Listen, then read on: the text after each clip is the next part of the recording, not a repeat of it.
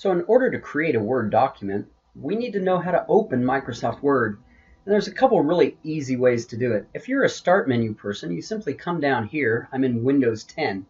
Click on the Start menu. I can scroll all the way down and find Microsoft Word. Now, if you notice also in the Start menu, I have a shortcut here to Microsoft Word. So I can open it that way. Now, I find the simplest way to open any application or find files and folders is to come down to the search. I simply start typing Word, and there is Microsoft Word. I'm able to click on it one time. Sorry, it opened up on my other screen. I can hit blank document, and I'm ready to go.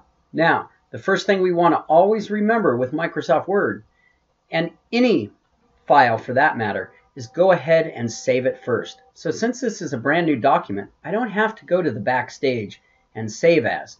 I can just simply click on the disk in the corner, which is the save, save it to this PC, find the location I want to save the document, such as my desktop, and give it a good document name.